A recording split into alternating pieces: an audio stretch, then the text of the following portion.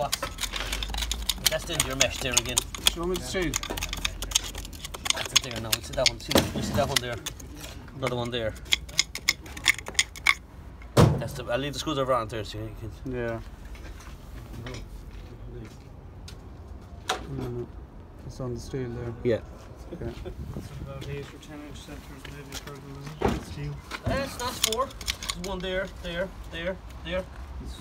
But I think that's the mesh. It's it's like Oh, it's mesh. yeah, it's yeah. checker plate mesh. Do you know? It's like um. Uh, It's like, it's like big expanded metal for it's like big expanded mesh. Yeah, Yeah, yeah, yeah. yeah.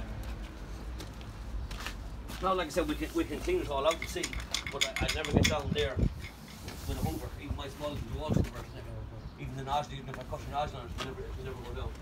Hello, Brian. Will you stick a scarf on this here for me? oh God, That's a serious crack Go straight down the wall there, look. Oh, that's true. That. That's the same one, yeah. Mm-hmm.